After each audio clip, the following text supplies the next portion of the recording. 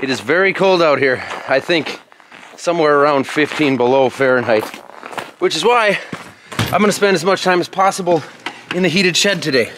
You want in too, Didge?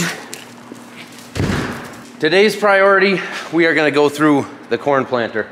I've got Zeth Key of uh, ZK Master Tech. He's got a YouTube channel, check it out. ZK Master Tech, pretty cool. He uh, works with Sloan Implement and works on these John Deere machines. So he actually came up, his longest service call ever. Go check that out on, on his channel. We are gonna go through this thing and make sure everything is in tip-top shape.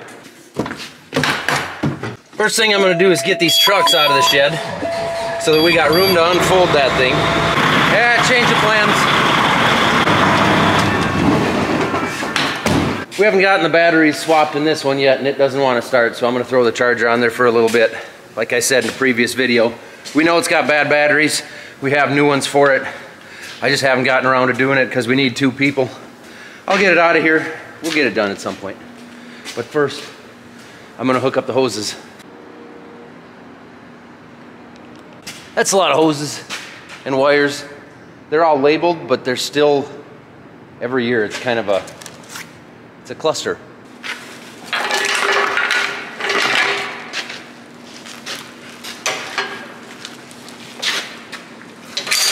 I'm gonna drop that quick hitch a little bit so I can put the hoses up and over the hitch. Gonna make it a lot easier.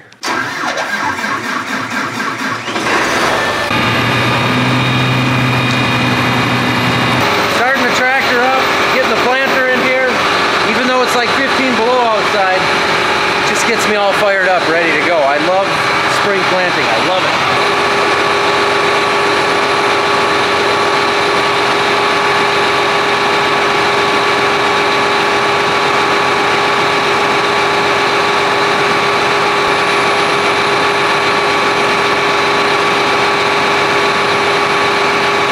They're labeled, but you still got to think about it a lot because there's the ins, the outs, the returns.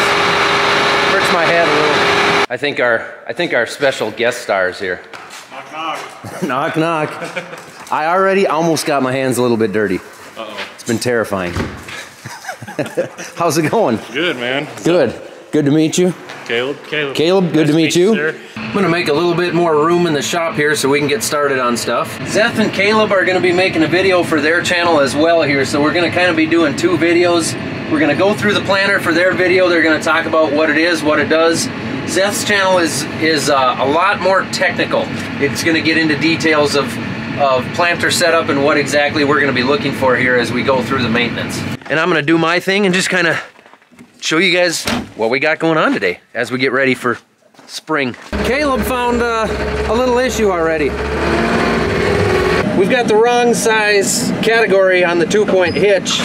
We're gonna have to flip that around and and uh, go to a smaller category. We ran it that way last year, never had an issue with it, but he did say that they have seen planters jump out of that hitch before, which which is a bad thing.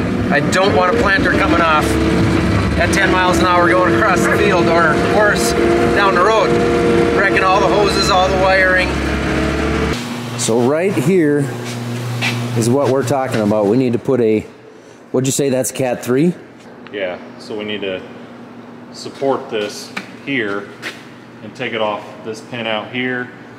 Take these bolts out here so we can take these pins out and then slide it out of these arms here and then we can flip it around, slide it back in so we can put the pins back in. Simple as that. Simple as that. Piece of cake. Piece of cake. Also very important. Very important.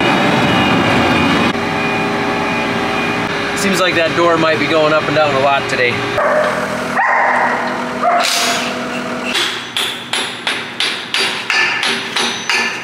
Might need a punch. You got a punch Yep.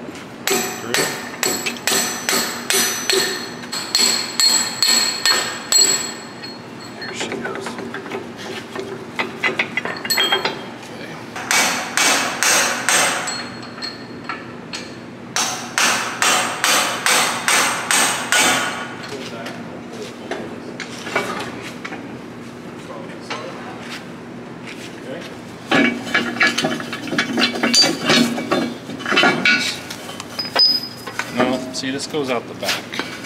We Oh, go that goes back. out the back. Yeah, this one goes out the back. I'm gonna scoot this back just a little. Just trying to get it work, work free where she would come out. Got a bunch of stuff. So yeah, we were we were sitting on this one. We need that one. We need this one. Just need the smaller groove. Yeah, it's never been used. Hole lined up. Persuasion. Persuasion. Oh, mine wants to come out. You see, I had that all the way in. Need persuasion. Found this hammer. Yeah, it's a little caveman, but Does that just lock in? yeah, this is what locks this hook into the hitch. And Well, I then suppose then you put the put the cover over this. this is basically just holding this until we can get this one Sure. in place. Yeah.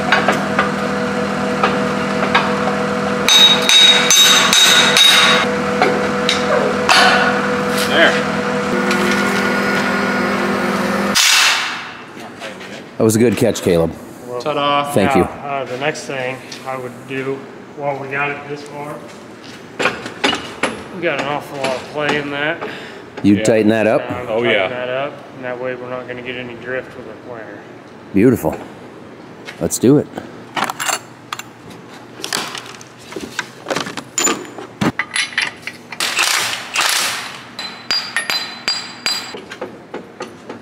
Lots better. That's got to be like a three, four percent increase in yield, Absolutely. like any other thing. Now that we got the hitch done, we're gonna go ahead and get this generator ready to go. And Caleb's gonna go over what this thing is and why we need it. Came out easier than I thought. All right, so there's your generator unit. We're just going to turn this guy over and drain all the uh, Hy-Gard that's currently in there. So once again, we're going to be funnel. yeah making sure that Small we're using funnel. Hy-Gard. They're filming. It's very technical. I'm trying not to dumb it down. You want to take that to him? No? I'll get it. You and your no thumb having pause.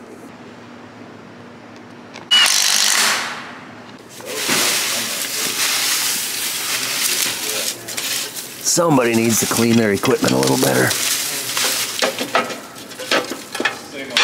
One handed.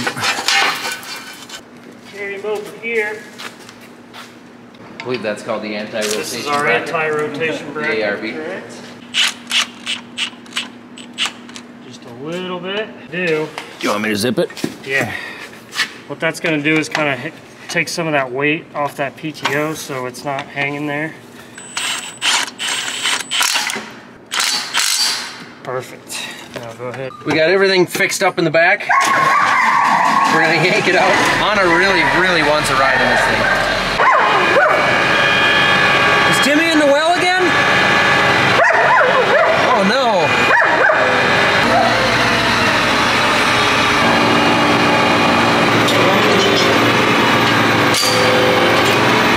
It's a little chilly in here every time we open a, a 28 foot door when it's 15 below out. It's an Arctic breeze, It is. for sure. It's very calming. You're going to see a stamping um, that says either P or R on your um, coupler. So our hydraulic downforce, we're going to plug him into the pressure side, plug our pressure side into our left side of our SCVs. See, it's way easier just doing it that way. Way. Yeah. You made that look difficult on your video.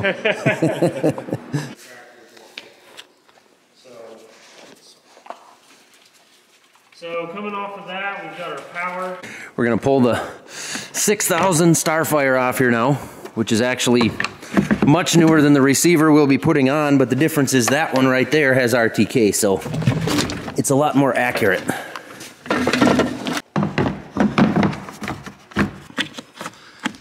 Accuracy is golden. So Caleb and Zeth have the hydraulics hooked up now. They've got the wiring hooked up. They're up in the cab. Checking out the monitor. They say I've got the latest and greatest, so that's good. Sounds like I need to move my RTK, or I should, recommended to move my RTK from our 3000 to our 6000, which I didn't know we could do. But that gives you quite an extension if you lose signal from one of the towers. It actually gives you two weeks to still have that RTK signal. So I'm definitely going to be looking into that. Talking because we have our planter information down here. So these guys said we're ready to unfold, so we're going to get the trucks moved out of here, just back them out, and uh, make some room, unfold that thing. Which means I really hope this will start. It's been a little while now. No problem.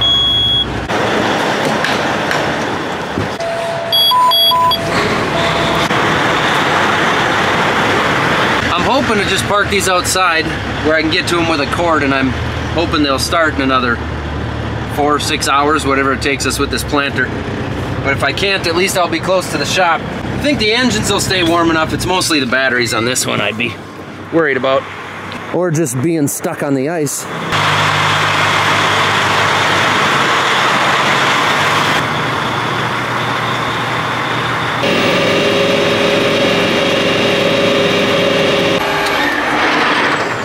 I'm not sure if it's gonna clear or not. Oh, it's pretty tight. It's pretty close.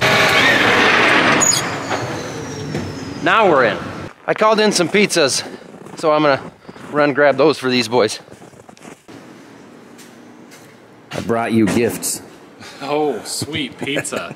My favorite. I'm letting these guys do their thing now while my lunch settles a little bit, but basically what they're doing is going through and doing a much more in-depth, informative video of exactly how to go through the whole planter to make sure it's ready for spring. So they pulled a, a row unit apart here, talked about setting the gauge wheels, setting the openers, setting the tension on the bowls, the belt, everything they look for as far as what's going on inside there to make sure it's running correctly. So once they're finished up in there, I believe we'll just start going through one at a time and making sure everything is right. I already found a broken scraper. I'm mostly just excited for the weather to get nice enough that I can actually wash this thing up. An unshiny tractor. There we go. They got the brushes moving. You can see a little bit of what happens inside here. So there's no bowls in any of these, but you can see all those brushes spinning. So Caleb was in there running tests on the screen. We got everything spinning and it looks good, but he mentioned that we've got some, what'd you call them? So these are your pressure sensors for your accumulator. Yep. Um, we were doing the accumulator charge pressure test, and we had multiple rows fail. About eight of them failed the uh, test. And if uh, you noticed when we were running that, some of these rows were really chattering. Yeah, they, they just kind of shake. They'd shudder. So, so either the system's not being reported correctly of the amount of pressure that it's getting, or we just maybe still have a little bit of air trapped in the system somewhere. So we're going to run through an air bleed procedure again. We're going to do that really thorough, make sure we get all the air out, then we're going to run the test again. If we have a few that fail, what we're going to try to do is swap some pressure sensors around with some known good rows. Then if those rows pass, that's going to narrow it down that we just have a faulty pressure sensor. So, So if that sensor is not reading correctly, it can't calibrate itself correctly and give the correct amount of downforce, right? It's going to get its signals crossed. It's not going to get the appropriate amount of downforce when it's adjusting on the go as we go across the field. So it's important to have those working correctly. So we'll hook the hose up here, and that'll cycle fluid through there, basically to flush it out, make sure there's no air in this system. So we got one on each end of the wing here. It's going to flush those out. now you can feel that oil It's- flowing through that hose. Sure. So we're just bypassing all the actuators, bleeding out all the air. So it's it's actually you can feel it kind of shuddering now. Yep. Will that go away if it bleeds air out? Um, not necessarily, um, but we'll see when we get this done. We'll see on the. So we've cycled the left wing and the rear the rear units here. Now we will switch the hoses over to the right side.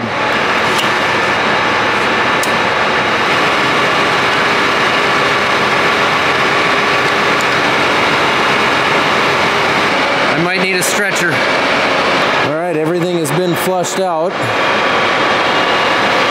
Is he running it? Does that mean it flushed it? Yeah, we're gonna run the accumulator charge test, Okay, see if each one will pass. okay. Make sure that you know, these actuators are working correctly and we're seeing pressure right here on that sensor. So is it testing one at a time? Yep. Okay. I don't know if you'll see it on camera or not. There you can kind of see him jump. So the machine is going through and running a test on the actuators up there to make sure things are right. Zeth said he can see the red bars on the display up in there on the display. And that means we got some that are not passing, so it may be a sensor issue. Trying to do them over and over again. Okay, See, because sometimes it'll come out of it and it'll, it'll bleed it out. okay. 6, 9, 10, 11, 12, 18, 19, 23, and 24. Oh my. That's a lot of rows. So that's what, half of them? Uh, yeah, probably. Man. Is that something where they could have all gone bad over winter like that? That's what happened on that last one. Yeah. Really? Yeah, it's fine when they put it. It's this top one here. Yeah. So right now he's just gonna swap sensors. This one was bad? Or reading bad? Oh, sudden. Got squirted. bad. So if it's a sensor issue, it should. Now, one should be bad, and two should be good. Spackle happens. Look at that, right on the lens, right there. Oh, Ew. darn it. I'm gonna go to the other shed here and get a bag of floor dry. Uh-oh. You okay? Here, take it to the doctor, please. Thank you. You're gonna need uh, insurance information, birth date, and social security. I'll go grab that. I know there's a bag in here somewhere. A bag? A bag. Got it. Now I hate floor dry, but it is it is effective. You just gotta clean it up once the puddle's dry. When we swapped them, number two still failed. Ah. Number one still passed, so the sensors are fine. Okay, he just said this valve wasn't opening up quick enough to make the sensor happy. So, but now you, you ran that, you, you purged them, mm-hmm. and now we're all good. We are golden. We don't have to change like 12 sensors. No, no, just we- flush them out. Yep, we are good to go. Beautiful. That was easy. Neighbor called. He's stuck with a skid loader, clearing his driveway. Dropped one side of the skid loader down, and now he can't move. So I'm gonna take the 6175, a chain, a Yankum rope, and go see. Hopefully, hopefully I can yank them right out of there. I don't know if you can tell, but I still got a little bit of snow to clear in the yard here. I just haven't had, honestly, have not had the time.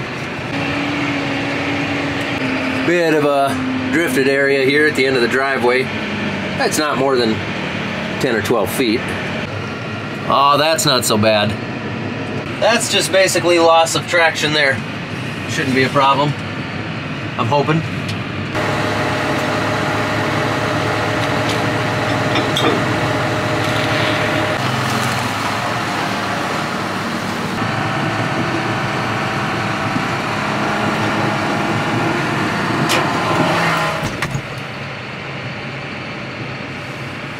No problem. He's got probably a bigger snow problem here than we have back home, so I'm gonna make a few cuts for him and open it up. That way he has to spend a little bit less time in that skid steer pushing stuff around. Always good to help the neighbors out a little bit. I think I'll back this thing back in the shop. We're done with the planter for the day. Oh, we threw the blower in the shed, checked out the race car shop for a little bit. Uh, Derek and Corey came over, we did a little, little race car work. Caleb and Zeth took off. They'll be back in the morning. So I will see you guys in the morning then. Okay.